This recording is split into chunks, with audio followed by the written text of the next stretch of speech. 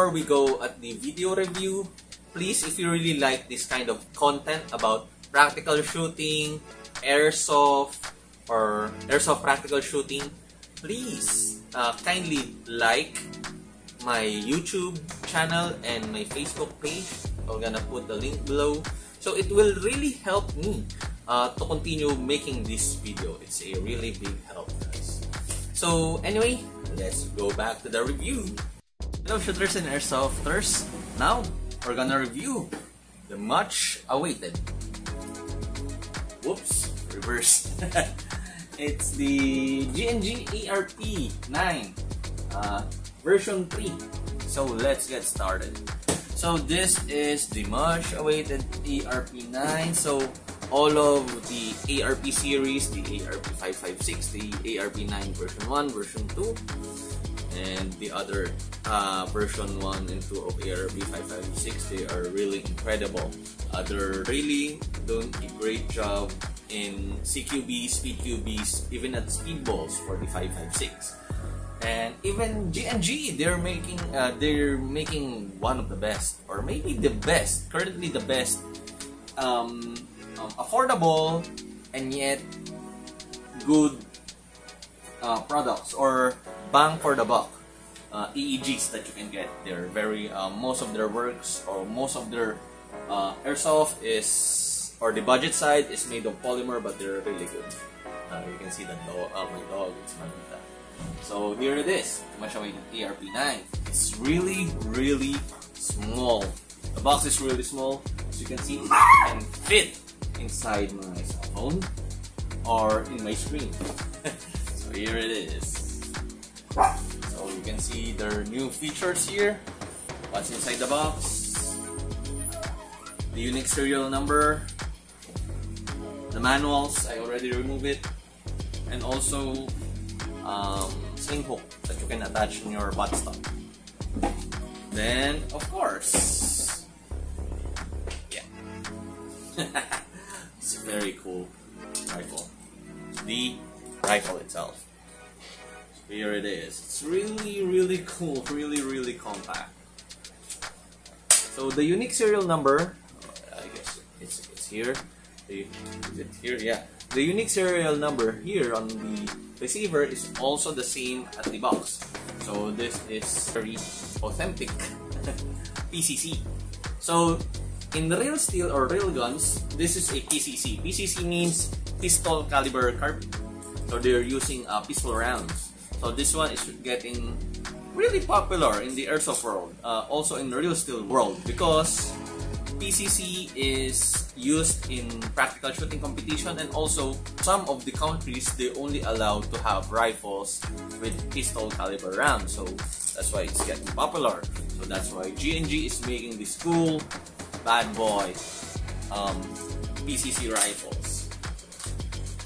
Very handsome and good looking so the package, it comes with 30 mag. This is a mid or low cap uh, mag. So it can go up to 66 rounds, but you cannot finish all of the 66 rounds because it has a unique design of follower. As you can see here, they have the new system. They call it a four channeling something, four channeling um, followers. So there's a four channel of follower there as you can see. So once the BB hits this one at the last at the top part, you cannot feed that one because the spring it will only travel here. So this is 66 rounds. I guess you can only shot 50 rounds. I'm not sure, but I'm pretty sure this remaining rounds you cannot shot it. But still, it feeds really well. I don't have any malfunctions when I try it. No misfeeds. Really nice. Really nice round and it's transparent. So if you're thinking to uh, using the old mags, you can use it. Old ARP mags. ARP 9. So for the rifle, it's, it's really compact. It's really small, but in a positive way. You can easily maneuver this on the walls or CQB because it's really small. And you can easily run with it because it's really, really light. I really, I really want to have one because I'm a casual shooter on practical shooting using rifle. I'm a casual shooter of rifle. So I can easily bring this to the match without any problems because it's really small. Not compared to my rifles, it's really big, it's really heavy. It's hard for me to bring it. So anyway, so the package is it has a M-LOK um, uh, handguard. It's around 4, 4.7 inches if I'm not mistaken. So it has a silencer. So it's kind of a little working silencer because they already put the foam, but it's it cannot compress the sound because it's really tiny silencer. I guess it's intended for you to put a loudener on this one. Will look really cool and also tracer. So here's a pistol grip in the front. So this is necessary. So grip. This is the flip side. Very nice flip side because they put a big um, round pick hole on the rear side. So you can easily use it for close quarter shots or close range shots. So here, one of the cool thing about this is the grip. It's very ergonomic, it feels really nice. The design is really good, straight. I'm really fan of a straight grips. Feels really good. This is a foldable stock, so if you want to fold it, just press this one and pop. Will lock. So about the buttstock, uh, the buttstock is not adjustable, but it feels okay for me. It's perfect. If you're thinking where you're gonna put the batteries, it's in the buttstock. So it's here. You just need to poke this switchy thingy and you can see the battery plug. So out of the box, it has a Tamiya plug with they have this fuse you can just change it if you want to. But for me, uh, maybe in the future I'm gonna remove the fuse. I'm not a fan of fuse because once once the fuse is broken, you cannot use your rifle. So it's wired here, going here. So it's really nice because the battery is still inside.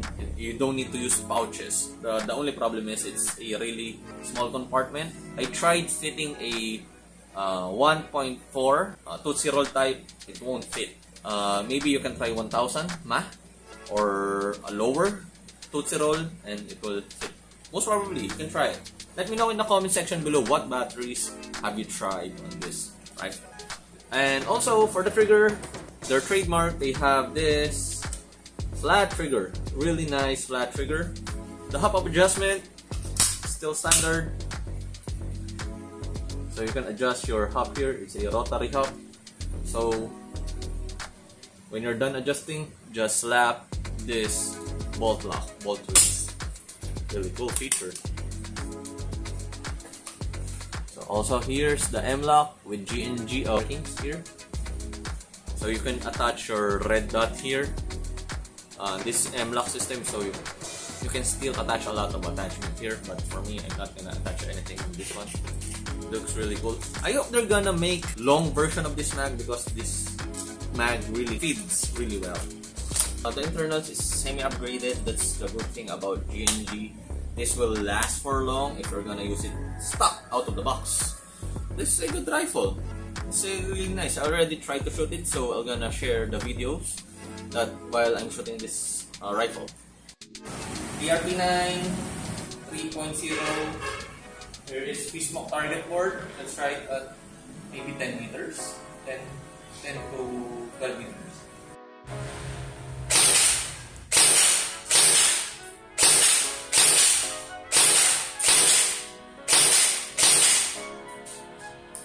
Okay, let's check.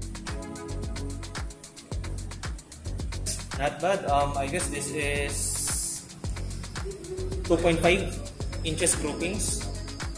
So, up and down lang naman ang groupings niya, but it's not bad. So, try natin in full auto. Okay.